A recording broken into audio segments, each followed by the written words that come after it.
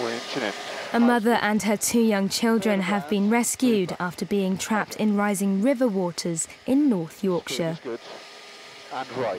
The woman and children were believed to have been paddling in the River Ure near Ripon, where they were washed out by a sudden surge of water caused by heavy overnight rain. Please, Jonathan, go back five and right.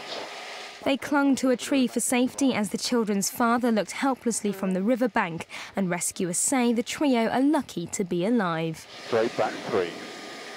The family were lifted more than 100 feet to safety by an RAF search and rescue helicopter after 20 firefighters, police, ambulance, and swift water specialists were called to the scene. Still well clear. Back two and right. Miraculously, no one was injured. 30 feet of. Our two survivors on board are still happy. Height's good. Tips and tail well clear. 10 feet of.